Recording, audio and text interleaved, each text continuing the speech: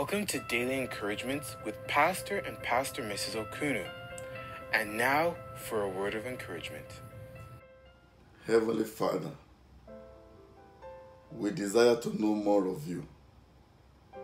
Teach us to wait quietly on you with expectation that you will reveal yourself and love to us. We surrender all to you today and always. In Jesus' mighty name. Amen. Dearly beloved, I welcome you to this glorious day. Today is the day that the Lord God has made. Today, as the Lord liveth, you will rejoice and you will be glad in this glorious day in the mighty name of Jesus. 1 Samuel chapter 18, verse 14 says, 1 Samuel chapter 18, verse 14, and David behaved himself wisely in all his ways, and the Lord was with him. We need wisdom to navigate among men especially for such a time like this.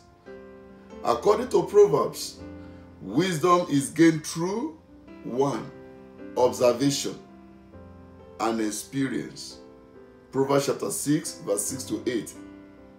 Two, wisdom is gained from instruction. Proverbs 22, verse 17 to 21.